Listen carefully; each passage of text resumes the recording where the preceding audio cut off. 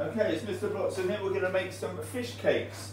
So what we need, the main ingredients are fish, and here I've got some smoked haddock and some basa. Uh, the most well-known fish cakes will probably be either salmon or cod or a mixture. Um, is a bit like cod, but it's a bit cheaper. Smoked haddock, give it a bit of smoky flavour. And mashed potato, and I'm going to show you a trick here. With these potatoes, I've already baked them, so it's a real easy way to do it. It's a lot easier. So first thing I'm going to skin these. See this is haddock. So we hold it here, hold it on the corner, and then we wiggle it like this, quite easy, and then we just take the skin off like so, and we don't leave much um, fish on, on the skin. Show you that again, get the little bit, go in the corner, reasonably simple to do. And that one breaks, so sometimes it breaks, but it doesn't normally do that. Hold it again, you can, if you can't grab it, put some salt on your hands and you can hold it as you can see another one done. So that's in there. So normally I would poach this, but to save a bit of time, I'm going to just um, fry it in a bit of butter. Now, but the one, one good thing about poaching is it makes it nice and delicate, but the only trouble is then it ends up far too wet.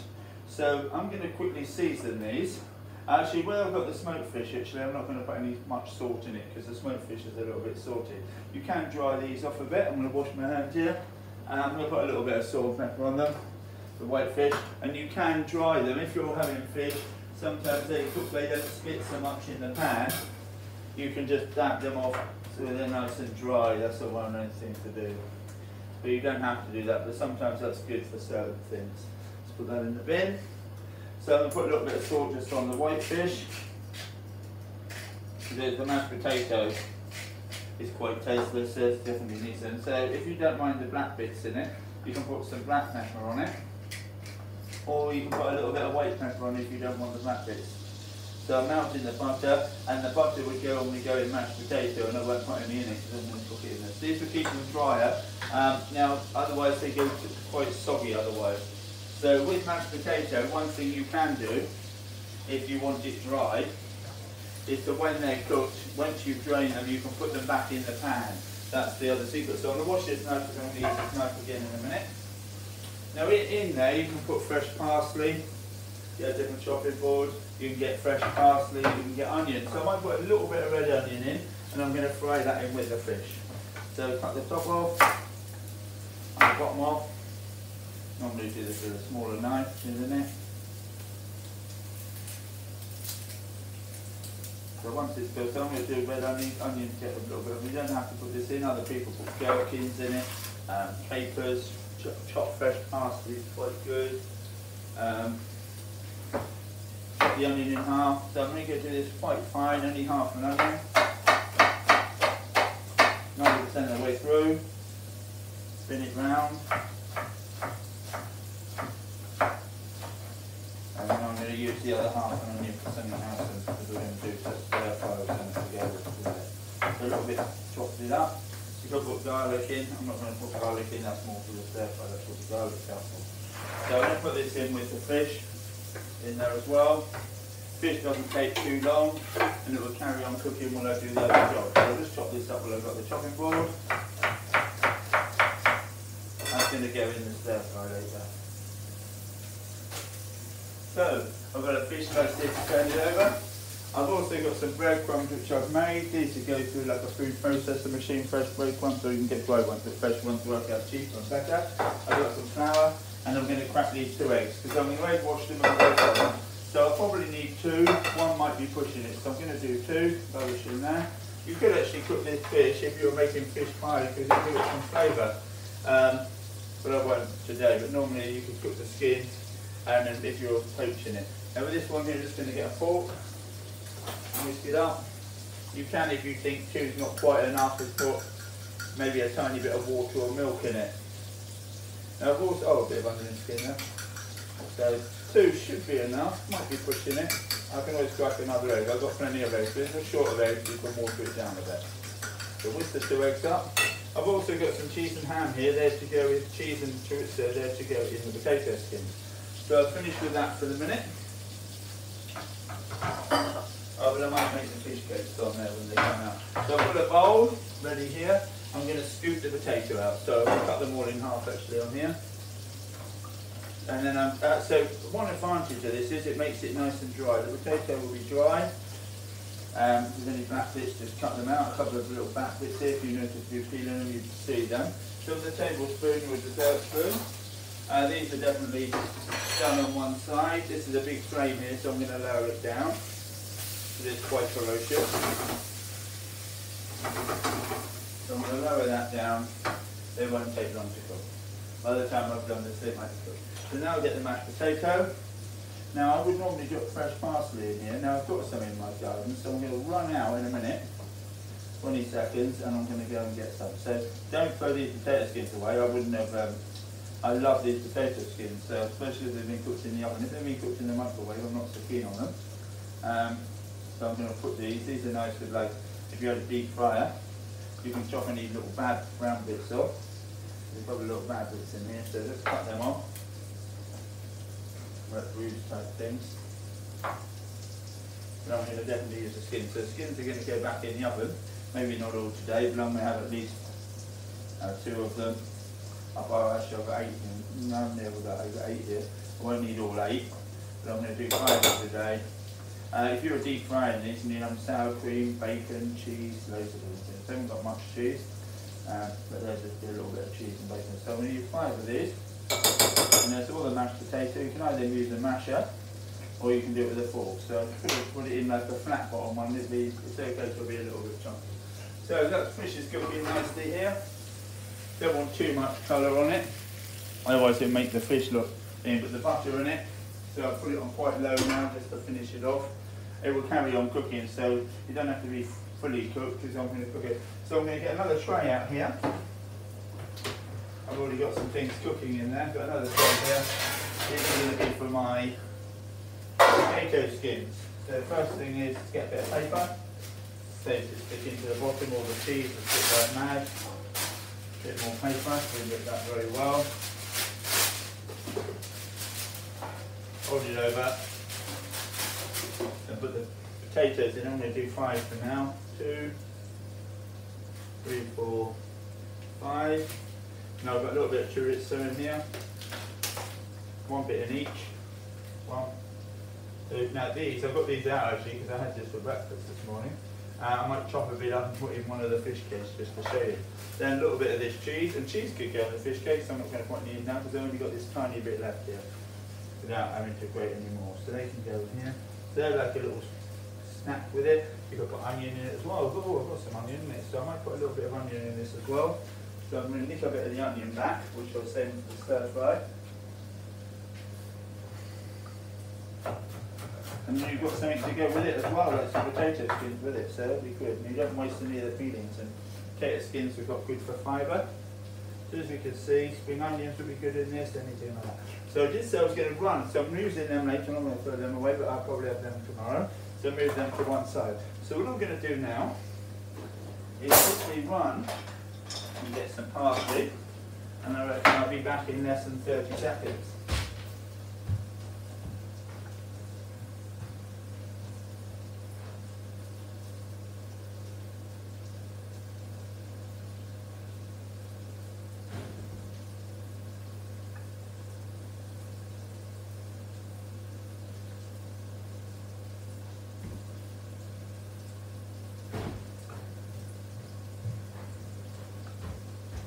I'm back. So, as you can see, I've got some parsley and some thyme. So I'm going to wash this underneath that. Normally okay. Give it a quick rinse and the thyme. This time, nice and green thyme. As you can see, nice and moist, soft, soft thyme. Sometimes it gets a bit dry. So I'm trying to take it off the stalks if we can. This one here, I quickly ripped it, hasn't got any stalks in. I'm going to chop a bit of this. So this is good for the, for the fish. You don't have to put it in, it gives it a bit more flavour. Well, that fish is nearly cooked. I'm going to turn it off any minute. Let's have another quick go. That's uh, probably okay now. I'm going to turn it off. I'll show you that in a minute once I've chopped the parsley up. So I'm going to mash the potato. I'm not going to put any extra butter in it or milk because I don't want it too runny. Normally mashed potato, you want it light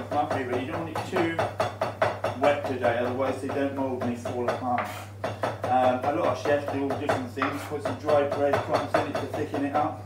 Uh, mashed potato powder I've seen a lot before, that works well as well. Only a tiny bit like a tablespoon can make the difference between it being mushy or not. So finish with that for a minute. Move that, mash the potato. So I've done four potatoes. Because once you mash them, as you can see, you don't get too much fish out of them. Don't forget this is all fresh cooked now, so if it's left, we don't need all the fish cakes, that would be okay. You can make these, I would normally make them on the day, but you can make them the day before. That's done. Wrap that off best you can. Um, if you want, you can use a ricer, and then obviously there won't be any lumps in it, so I don't mind it a little bit. For this, I'm not piping it, so it's okay. So it's nice, pretty smooth. You can see it's all got some green in it.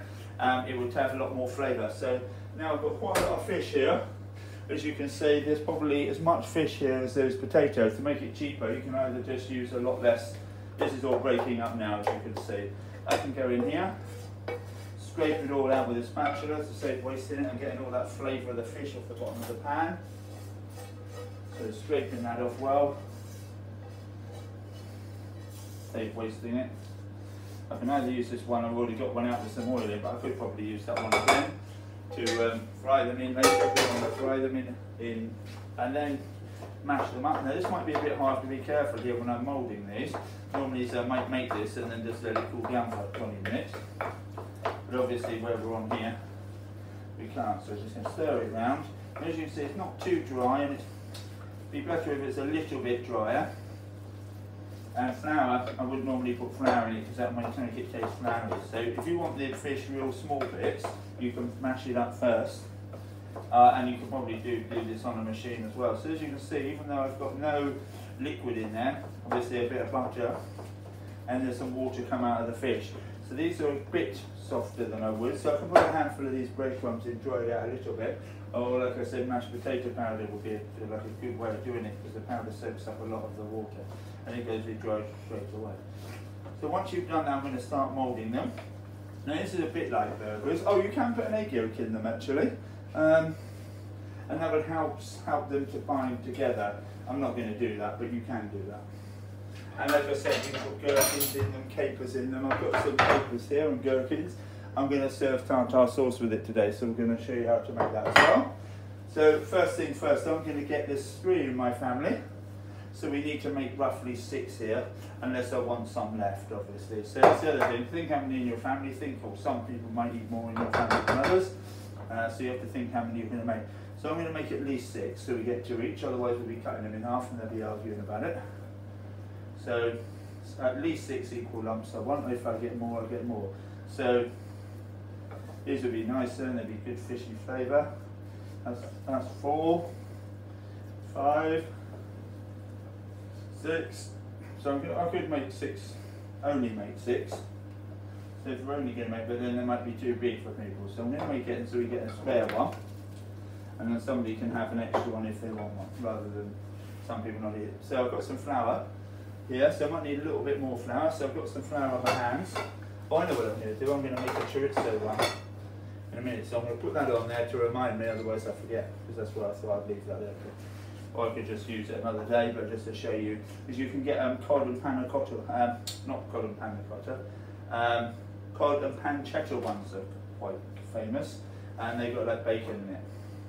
Obviously, panna cotta is a sweet, uh, thickened up with gelatin, cream, and strawberries or whatever it is with gelatin. So, try and make them roughly even. That one's slightly smaller. If you're worried about this, you could weigh them. A bit like, um, this reminds me of burgers, this in a way shape in them. So you can shape this with a palette knife quite often with two palette knives. I just do it with my hand, I make sure a bit more flour on here. Now if I left this for about five or ten or half an hour in the fridge, they would harden up and they'd be a lot easier to wash with breadcrumb. But I'm not going to do that now because you're waiting and we're all waiting for tea. So the next thing, these have got quite a lot of flour on already. So I'm just going to sprinkle these a bit more flour. Now the idea of flour might look a little bit excessive flour. Um, the egg will only really stick to it if there's some flour on it, they don't stick quite so well. So I finished with that plate. Oh no, I haven't because I'm going to make one more with pancetta. So this one here. Now I've got no pescatarians here or anything, so they won't mind a bit of meat.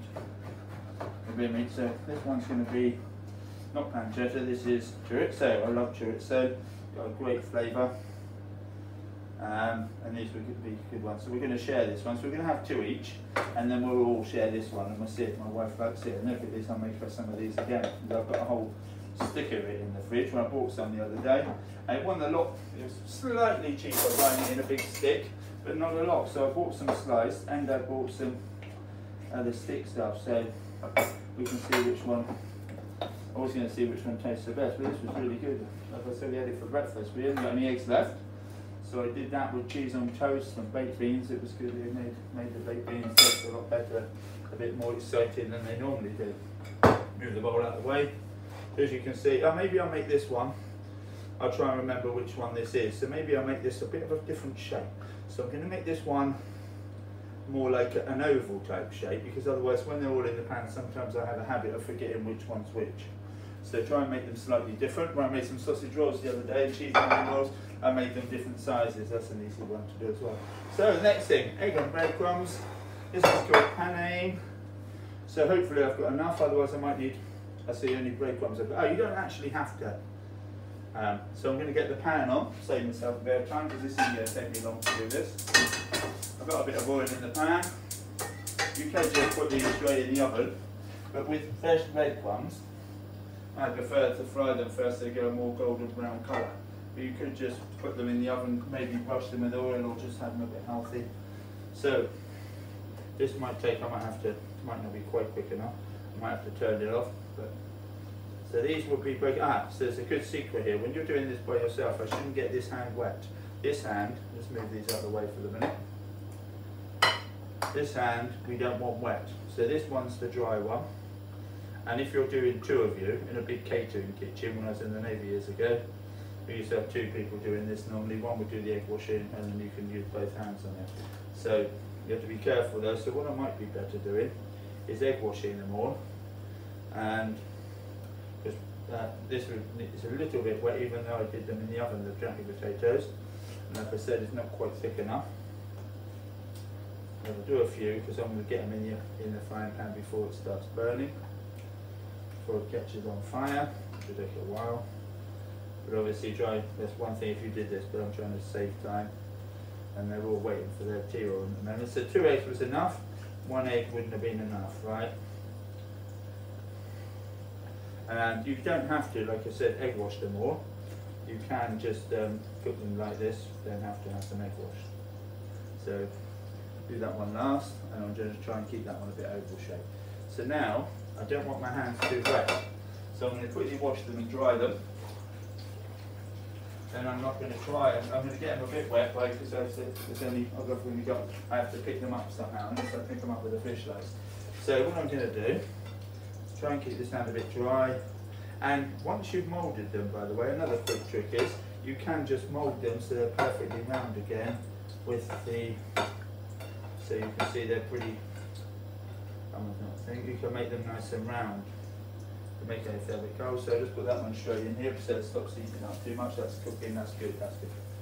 This one here, here on top. Depends how thick you like them. This is a good size, two of those I reckon will be two for the normal adult, depending on what you like. So I finished with the egg for the minute, so I'm just going to do the breadcrumbs. If I haven't got enough, maybe the last one, one of them one of the ones for my tea, rather than get any more breadcrumbs out or make any more, I just had some left from before and I freeze them. I normally do the whole loaf. Really, that's it. So this is, so I'm going to do one without breadcrumbs on to show you. That's had egg on it. You could just have a bit floured. Because I was going to egg wash and breadcrumb these ones. I didn't want this, the end one not breadcrumbed. I wanted to egg wash the bread if there's any left it. But as you can see, Probably not. So it uses quite a few breadcrumbs up as you can see here. So there's going to be two with no, so you can shape it a bit, push it down, put it in, and I'll put this one back in the middle. So this one's the oval one. We're easy to be able to tell now there's got no breadcrumbs on it, so I'll be able to see the pink bits of the chorizo. So I finished with all this for the minute. I'll get a clean chopping board to make the tartar sauce move that to one side. So I'm going to show you the pan at the moment. I'm going to turn them over before they burn because I think one or two might be definitely need turning. Oh, perfect. It looks a good colour. I you'll see any second. Oh, that one's nearly too dark. That one's not quite dark enough. The first one I put in. Uh, so they're all pretty good. My wife likes stuff well done. So she likes them like that. She, she, she always asks for them. It's one of the most well So I'm going to bring the camera over so you can see. As you can see they're cooking away nicely there. So I'll leave the fry pan there for the minute. We'll bring it back because I'm going to make the tartar sauce. So that will take probably a couple of minutes each side. So I'm going to lower it down a bit now because it's quite on quite high. So while I do that, I'll finish with all this. So you could use this bit of egg up as an omelette or something. I'm going to use another chopping board, but before I do that, I'm going to clean the side off. So, oh, I've got one more flock. I've got another fish cake here. Nearly forgot. Oh, that one. I'm going to chuck in as well because I think we'll eat two each. So we do need those ones. So first things first, cloth. By the time I've worked this, I'll check them again. Uh, there's one I put in last. So if you've got a table scraper, you can put all this, scrape this into a bowl. Because that's all rubbish, that goes straight in the rubbish bin. go over and quickly check them so they don't burn them. The one in the middle now will be turned over, well that's golden brown. There's one that's not really done one side. Oh, they're looking good now. Now where the mashed potato was hot and the fish was hot, they won't need finishing in the oven. If you made these and put them in the fridge overnight, I would recommend you put them in the oven for a bit, or you can probe them to make sure that it's over 75. So either fry them a bit more, another way, just chuck them in the oven, and you can forget about them, that's always really good. But I've got two things in the oven actually, we've got courgettes in the garden. So I've just put a few of them in the oven, or one large one. I'll show you how big they're. They're funny looking courgettes, they're real fat ones. I don't know why they go like that. You don't normally buy them in the shop like that, but they taste like courgettes rather than the marrow, even though they've gone quite big. So then I need to dry the table before I carry on. So I might have to, I've got quite a big ring on the cooker. I might have to lower it down. So this now the one that I put in last is turning over. I'm going to have to remember which one that is. That's the only one that's not cooked. So, so what we're going to do now is, oh, I'm going to show you we're going to take them up. Yeah. Oh, and we can have these with it as well. So I can put these in the oven. Um, we won't need so many of these because those fish cakes are quite big. So I'm only going to do one each actually. So I'm going to leave them for now. Put them in the oven. The oven's on. I put the rhubarb in there. Move that to one side. And I've got some courgettes here.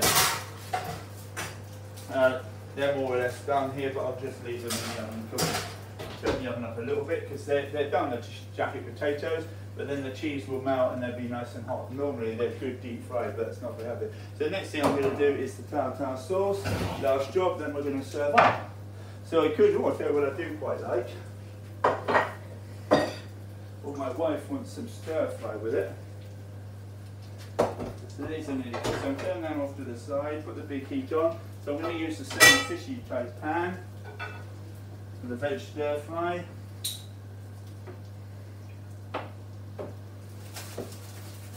Uh,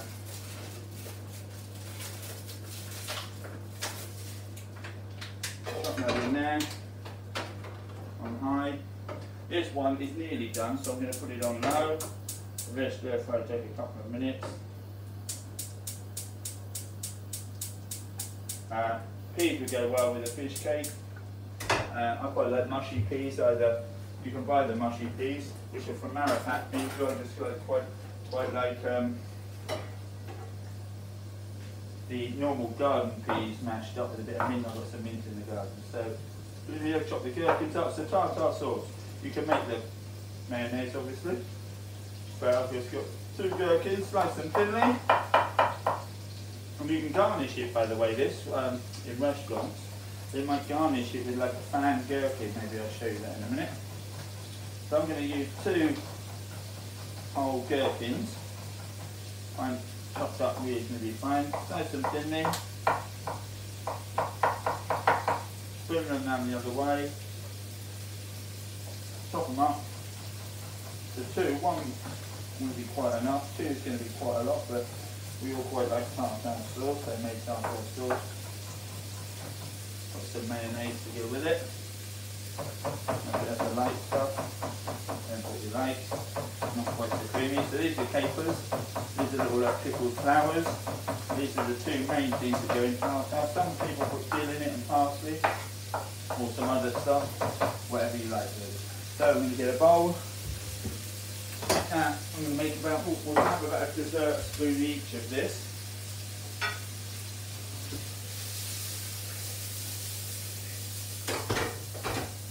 I'm going to put some soya bit. Oh, these, that one's nearly done. So I reckon these look pretty good. As you can see, they're not all done, but most of them are done. Uh, one or two are a bit anemic, so I'll just make sure they're done, but I might take some of the other ones out. So just going to turn them all over, see if they're done on the other side, which they are. We have two on this one. These I'm going to leave for another two, uh, one to two, they're not going to take long. So I'm going to put them back on, make sure that oh that one, that one looks some nice colour on that one. Depends if you like them, how well dark golden you like them. These ones are a little bit too light I think. Oh no, that one looks pretty good. So as you can see, they're there, just got the last two. Put the, put the pan back on but not too high because they're nearly done. It would be okay, but I like them with a little bit more colour on than that. So, mayonnaise. Tartar. I'm going to use about a tablespoon each. So one, two, three. Quite often we have coleslaw. We've, we've got the stir fry. And we got some vegetables left from yesterday. And I've got these courgettes as well. So tartar sauce, here we go, nice and easy. Look how easy that was. So we got some tartar sauce here. Um, and you can put some dill and fresh parsley in it. So a bit of dill on the bit of tartar on the plate. Uh, we could do lemon with it. Uh, my wife's not over keen on lemon, so let me just squeeze in the fridge here. Get a lemon out. Oh, you could put lemon juice in the tartar. Uh, some salad. My wife quite likes salads, but she has stir fry today, so you have salad with it. Uh, wedges. So, with the lemon. You can either do slices, like so, or I can do more of a wedge type thing. It's a bit short for a wedge now. Uh, and you can have, if you're going to uh, squirt it, and you can cut the white bit out, like so, so you can squirt it. Some people put a little few little zigzags in here to make a little bit of a pattern as well. And it makes it easier to do well. So we've got a little bit of lemon on there and we can have a slice of lemon, or we can have two slices of lemon, or lemon on each one. Look, I could have saved a bit of parsley for the top. Oh, I did say I would um, pan the gherkin. I'm going to show you that as well. Uh, with this stir fry, give it a bit of flavour. I'll put a bit of sweet sauce in it. So this says doing gherkin. So uh, I don't know if my wife won't be over keen on the gherkin. But I like them. My son quite likes them, so I'm going to do one for me and him. Oh, they're, quite big, so maybe I'll. don't know if we want one each. I quite like them actually.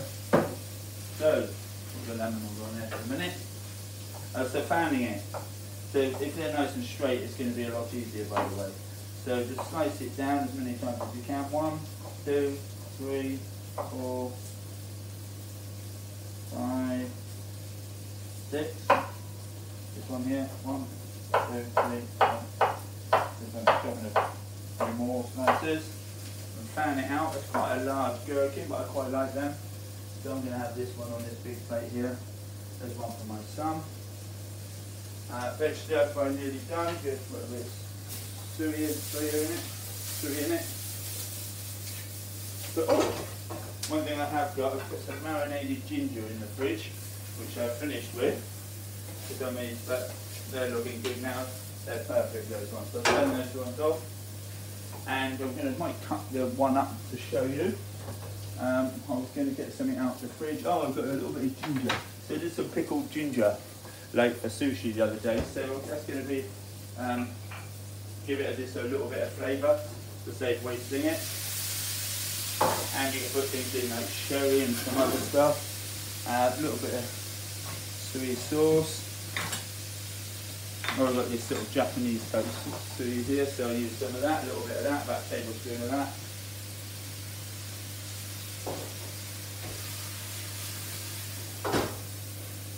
So, we'll put a bit of fish stir fry on each one, and then we're ready. Oh, and I've got the courgettes, if you remember, in here, and I've nearly forgot the potatoes.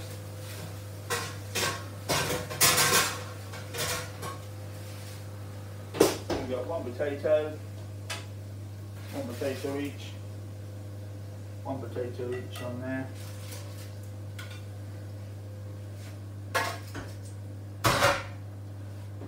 Bit of stir fry. So I'll move that to there, not a very big plate here. A little bit of stir fry each. And there we go. And I'll quickly show you the chorizo one. So the chorizo one is here. So as you can see, it's a slightly different shape I've made it. So, um, and I'll quickly show you what it's like in the middle. Because I want to cut this one into thirds because we can get a taste of it and see what everybody sees if they like them or not. So, as you can see, I'll just show you on the camera. I've got it on the same board as a gherkin. that'd be fine. Could be that's okay. So, as we can see on the camera, we've got some the chorizo one. We'll see. I'll let you know which ones they like when I put it on my YouTube channel. And just going to show you the last finished results. And then we have the fish cakes uh, with some stir fry. And I've also got some courgettes, they're just out the garden. My son doesn't like them, but I do. I'll quickly show you them, and that's the last thing, I think. So, give them a bit of flavour. I just put a bit of oil on them, salt and pepper. I quite like them with garlic or tomato. Yesterday I did them with tomatoes, so today I've done them like that. Thank you.